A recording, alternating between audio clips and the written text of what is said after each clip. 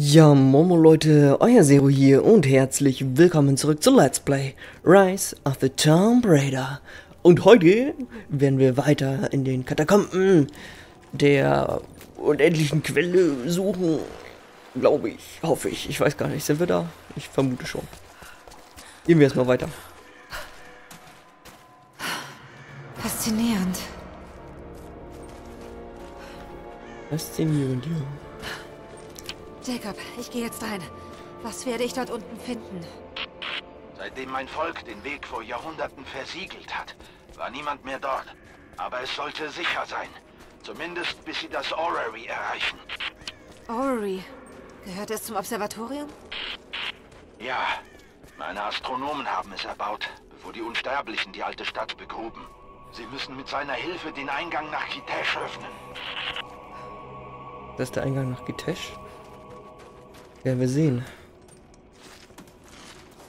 Erstmal hier entlang.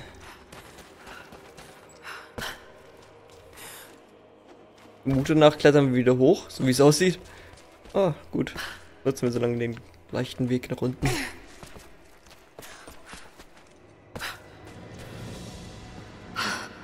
Das ist unglaublich. Weg der Unsterblichen. Mal sehen, wie das funktioniert. So auf jeden Fall schon mal nicht. Ich glaube, wir können da hoch äh, rüberspringen und dann irgendwie ein paar Sachen drücken. Okay. Obwohl. Moment. Moment. Zero hat eine Idee. Okay. Hat nicht funktioniert. Na gut. Vielleicht sollten wir das Ding erstmal untersuchen, bevor wir da irgendwie was machen. Ah, ich soll da hin.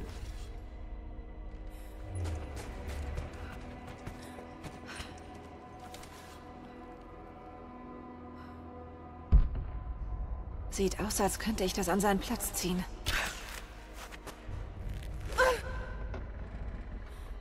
Da wir rüberkommen. So. Du mal, geschafft.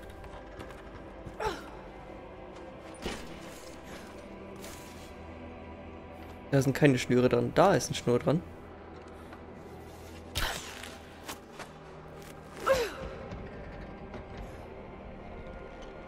Da ist eine Schnur dran.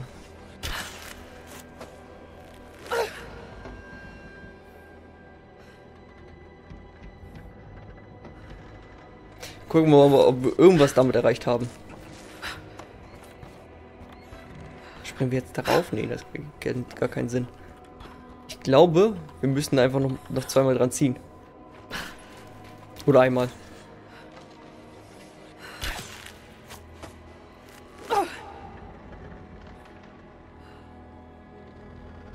Einmal. Kommen wir nämlich auf die andere Seite. Gucken wir uns das Ganze mal an, dann kommen wir auf die Seite. So. Dann müssen wir allerdings den hier noch einmal ziehen. Übrigens, macht euch keine Sorgen. Äh, wir werden, selbst wenn wir das Spiel äh, zu Ende gespielt haben, auf jeden Fall noch die äh, Gräber machen. Gemeinsam mit den Rätseln. Und daher werdet ihr da nichts verpassen. Und zack. Hui. Das ist aber auch eine Punktlandung gewesen. Oh, Junge, Junge, Junge. So. Ah, siehst du, Marto funktioniert. Nur ein bisschen nachdenken und schon kriegt man das gebacken.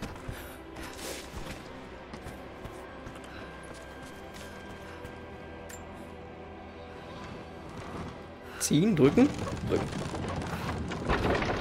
Merkwürdige Konstruktion. Wir können es ziehen. Aber nicht mehr so weit raus wie vorher, oder drücken? Naja, gut, wir lassen das jetzt mal bleiben. Ähm, spring da einfach mal rüber.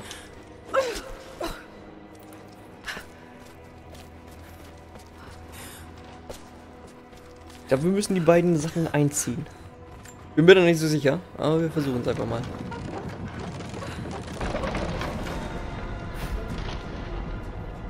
Jacobs Volk war seiner Zeit voraus.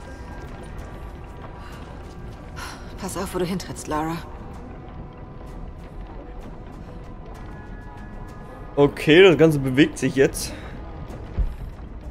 Jetzt muss ich es bis ganz nach oben schaffen. Jetzt muss das Timing stimmen. Oh Gott. oh, das kann ja was werden. Okay. Schnell rüber. Oh. Timing. Ich hasse Timing. Habe ich euch das schon mal erzählt?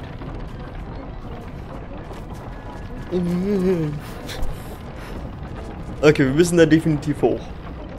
Hätten wir auch von der anderen Seite machen können, ne? Naja, jetzt spät.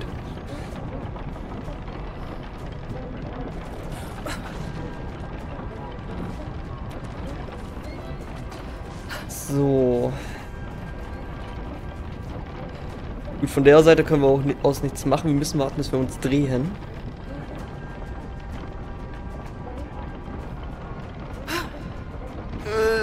Oh Gott.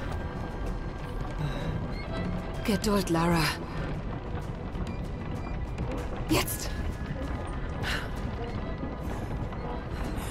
Oh Gott. okay, und jetzt? Ah, ich sehe es. Ich sehe es. Ich hoffe, ich sehe es. Ah, das war richtig. Aber ich glaube, ich muss von, von links. Von links. Nein? Von hier aus war richtig?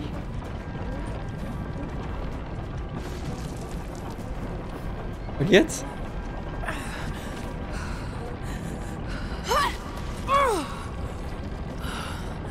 Ah, ist ja gut. Wir haben es geschafft. Junge, Junge, Junge. Nein!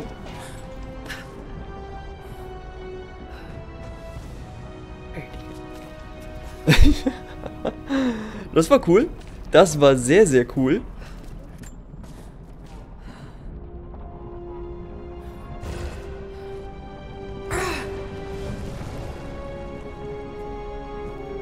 Ein Kodex über die fortschrittliche Bogenschusstechnik aus Byzanz. Klassische Ausbildung. Erhöht die Anzahl der Pfeile, die ohne Nachziehen aus dem Köcher schnell hintereinander abgefeuert werden können, auf drei. Ah, cool. Die meisten Fähigkeiten haben wir nie eingesetzt, aber hey. So ist das Spiel. Oh nein. Oh nein. Ah. ich habe schon gesehen, ich habe schon gesehen, Freunde. Ah, ja.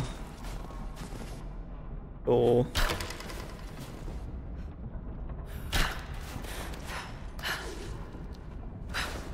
Okay. Mein Pfeil äh, hat nicht gezählt.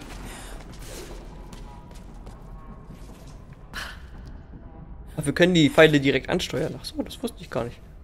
Wie weit sie springen kann, das ist ja unglaublich.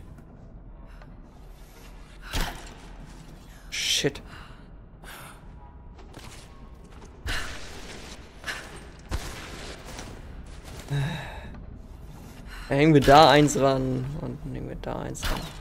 Sagt er da eins ranhängen. Dankeschön.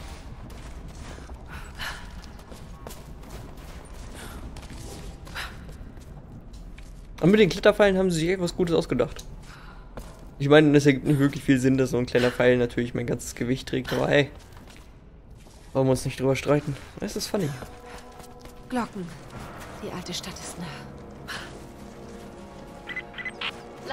Wir sind auf dem Berg über dem Gletscher. Kannst du Trinity sehen?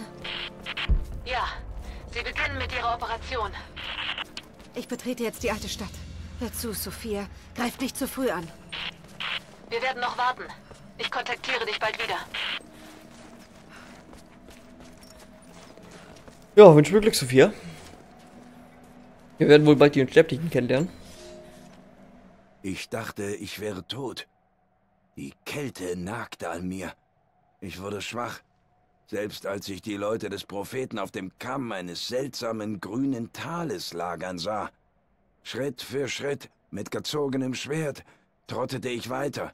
Ich wollte angreifen, einen Kampfschrei ausstoßen, als ich bewusstlos wurde und in den Armen der Ketzer zusammenbrach. Sie wissen, wer ich bin. Sie haben Trinity erwartet. Sie haben nicht viel, aber sie ernährten und wärmten mich, bis ich wieder gehen konnte. Der Prophet sagte, ich könne jederzeit gehen, aber sie nahmen mir meine Klingen. Selbst bewaffnet könnte ich diesen Mann kaum töten. Ich habe den Orden enttäuscht. Ich habe mich selbst enttäuscht. Aber ich lebe. Tja, da wurde der Jäger, der dem Propheten hinterhergelaufen ist, um ihn zu töten, äh, anscheinend ja quasi, was sagt man dazu? Dem, dem, dem Tiger das, den Dorn aus der Pfote gezogen. So könnte man das am besten ausdrücken. Quasi gezähmt.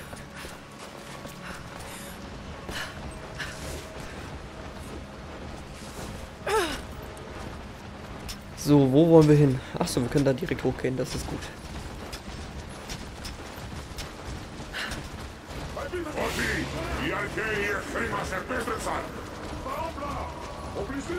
Έχουν όπλα που δεν έχουμε ξαναδεί ομοιά τους. Όμως εσείς φοράτε την πανοπλία της πίστης και όταν πέσετε θα σηκωθείτε ξανά. Θα τους σκοτώσετε όλους. Η πηγή δεν θα μετακινηθεί. Θα υπακούσετε τη διαταγή του προφήτη. Oh Gott. Sind viele?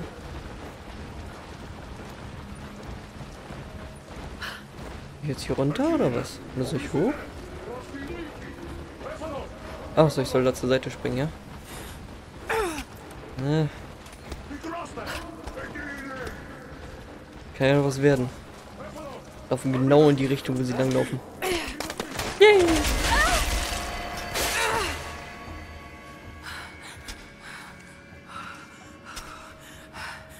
Ja, Handschuhe wären nicht schlecht gewesen. Okay.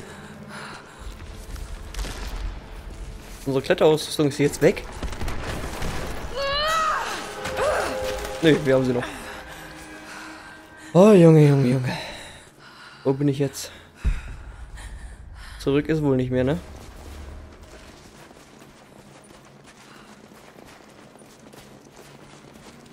Da oben könnte noch ein Lagerfeuer sein. Das nehmen wir natürlich mit. Ne, können wir gar nicht.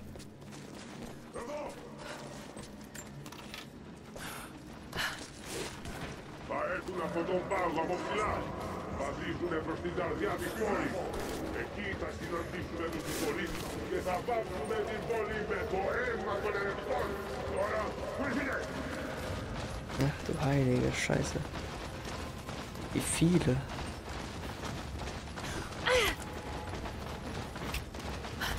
Dass die mich nicht sehen. Ich würde gerne jetzt einen Pfeil und Bogen rausholen und mal dahin schießen, zu gucken, wie die reagieren. Aber ich kann derzeit nicht schießen. Haben die gut durchdacht. So, haben wir schon mal einen Safe Point. Keine Fähigkeitspunkte. Aber wenigstens ein Upgrade für unsere Pistole. Oder wir gucken erstmal nach dem hier. Ah, da kriegen wir sogar ein Update. Nachladegeschwindigkeit noch höher. Sauber. Gefällt mir. 31 Worte.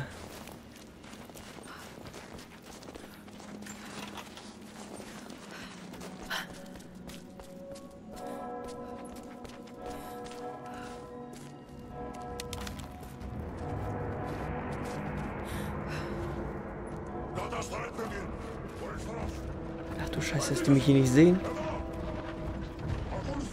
Ich kann nicht zurück. Ich wäre am liebsten jetzt zurückgegangen, hätte man einen Pfeil hingeschossen.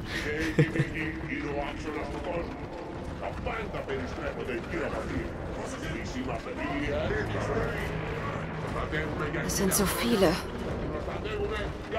Was du nicht sagst, Lara. Das sehe ich selber und sie haben eine schwere Bewaffnung. Dass die überhaupt hier rüberkommen, guckt euch die Brücke an. Die Brücke bricht doch jeden Moment auseinander.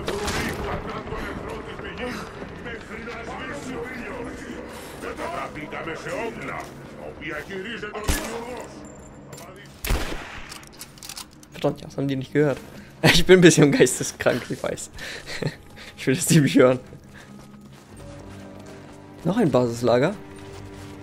Na, jetzt geht's hier aber rund, Alter. Jetzt geht's hier rund. Keine Worte von dir?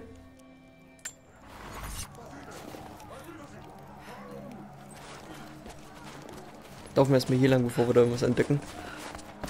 Das kann man nämlich gebrauchen. Ach, nichts drin. Ach, auch nichts drin. Beziehungsweise war etwas drin, aber wir haben zu viel davon. Na gut. Mist. Klasse. Oh oh. Die Hand. Frosch!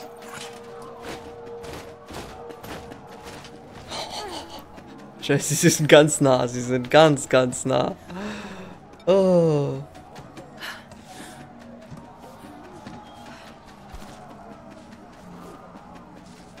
Na, schade. Klettern wir hier halt hoch, diese paar Millimeter. Oh. Oh, oh wenn sie dich...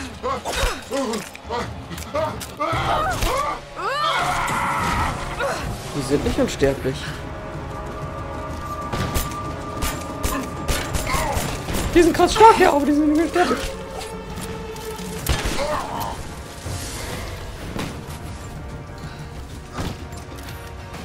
Hm, so ist das doch in Ordnung. Oh, griechisches Feuer. Hallo.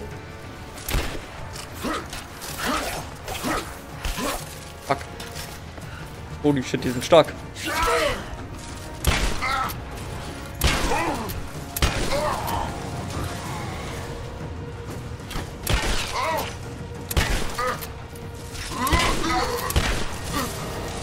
Boah, jetzt.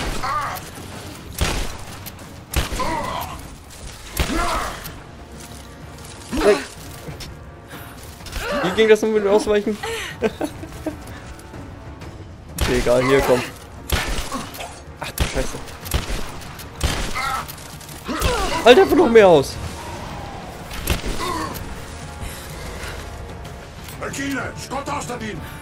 Was, Konstantin? Wer hat gerade Konstantin gesagt?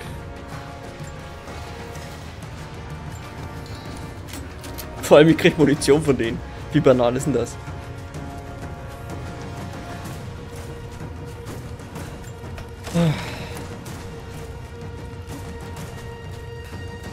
Sollen wir noch das griechische Feuer benutzen, bitte sehr? Für die einen auf, auf einen zurennen, wie so ein Kranker.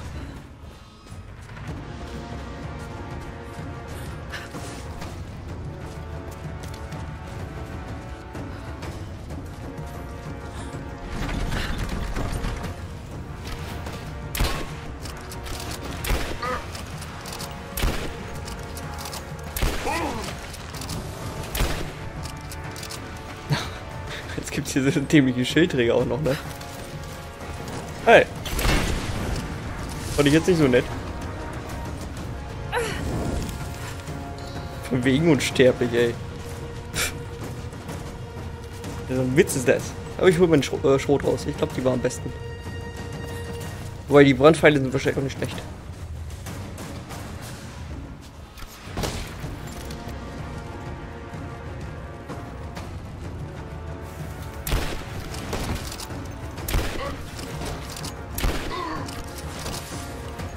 Na, die Waffe bringt's auch. Komm schon, ich will nur den Kopf treffen.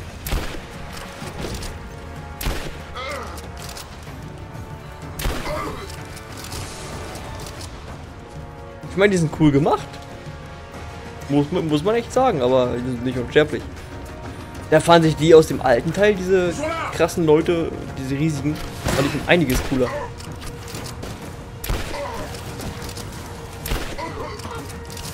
Das ist halt wie, wie normale Gegner, die ein bisschen mehr einstecken. Wo ich zwei Schuss für brauche.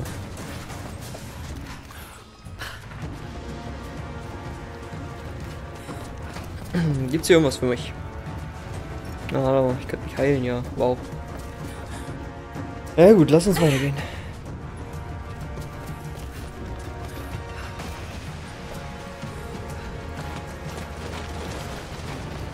Regine, Scott aus der Dienst! Konstantin, ich weiß schon. Ja, den suche ich auch.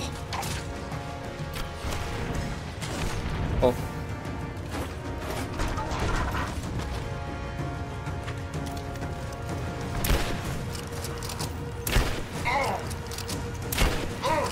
Ins Feuer mit dir. Ja, das war easy. Ich glaube, ich brenne.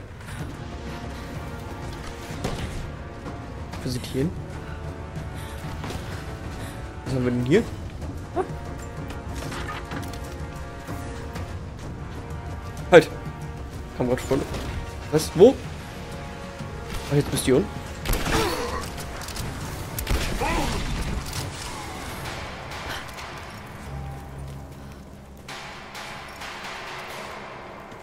Oh oh, was passiert jetzt?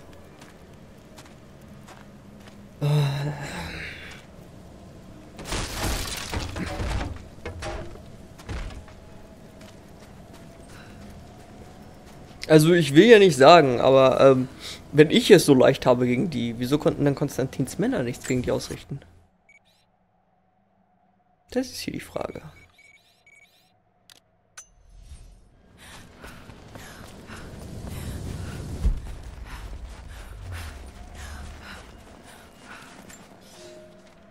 Trinity hat schon zweimal große Männer zum Pfad des Propheten entsandt, und beide sind verschwunden. Er trug die göttliche Quelle hinaus aus dem Reich, aber sie gehörte nicht ihm. Diese Blasphemie besudelt alles, solange seine Nachkommen leben, also muss Trinity es noch einmal versuchen. Ich tat gottlose Dinge. Versündigte mich an Unschuldigen, nur um hierher zu kommen und die göttliche Quelle zu bergen. Ich weiß, Gott vergibt mir. Denn mein Tun dient einem höheren Zweck. Jetzt ist das Ende in Sicht. Ich muss nur diesen letzten Kampf überleben und Trinitys Arbeit ist getan. Na, und wer war das jetzt?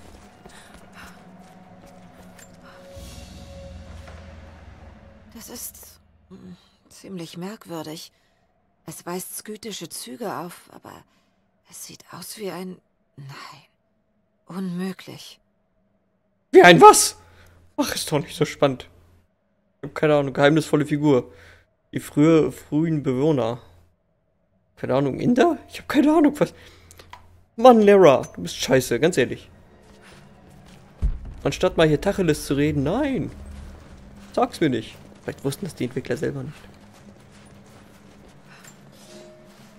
General, wir haben in der Nacht Seltsames beobachtet. Unser Lager liegt oberhalb von Kitesh und die Stadt bereitet sich auf den Angriff vor.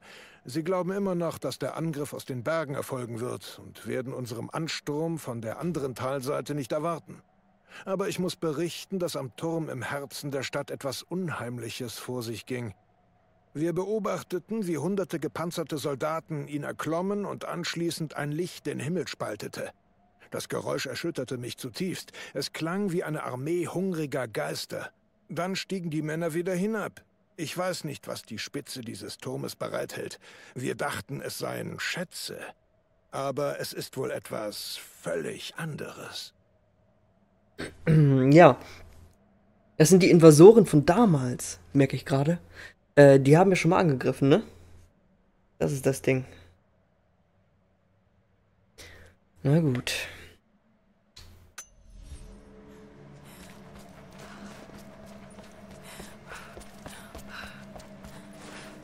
Was soll ich mit dir machen? Ach, du bist schon. Wieso komme ich da nicht höher? Nicht. Mit einen anderen Weg. Diesen hier.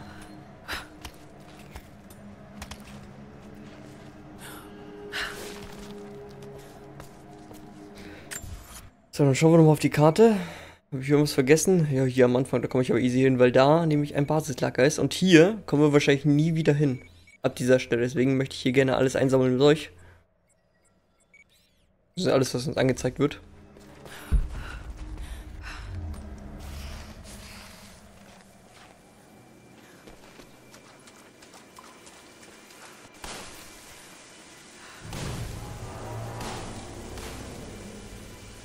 Ja, cool. Rutschpartie.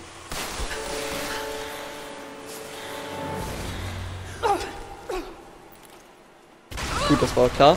Ich habe da nämlich keinen Weg gesehen. Oh gut, wir fliegen ja gerne aufs Maul. Oh. Hi.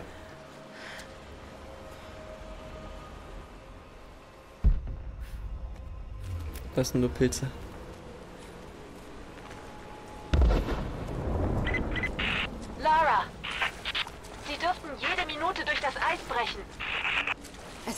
Euren Angriff. Glaubst du, ihr könnt sie aufhalten? Aber wir können dir etwas Zeit verschaffen. Ich sehe dich auf der anderen Seite. Ha! Das wäre ein Unsterblicher gewesen. Gegen sowas hätte ich gerne gekämpft. So wie im alten Teil auch, da waren auch so eine riesigen, mythischen Figuren. Die Kammer der Seelen. Die göttliche Quelle muss dort sein.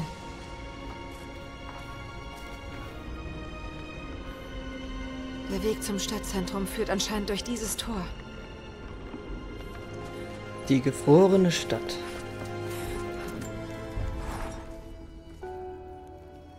Ein Fähigkeitspunkt zu verteilen und den setzen wir dann halt. Ähm, starke Medizin, komm. Was haben wir hier? Ach cool, wir können die Waffe nochmal verbessern. Sauber. Präzision. Ja. Fehlt nur noch das hier. Da fehlt jetzt noch sehr viel für. Schade.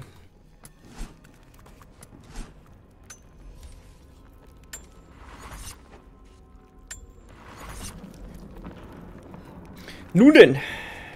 Wollen wir mal, ne?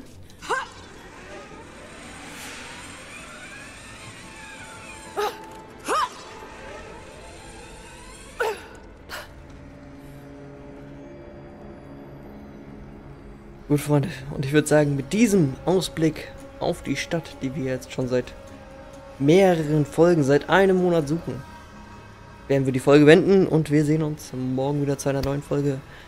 Ich würde mich wenn ihr wieder einschaltet. Haut rein. Euer Zero. Tschüss.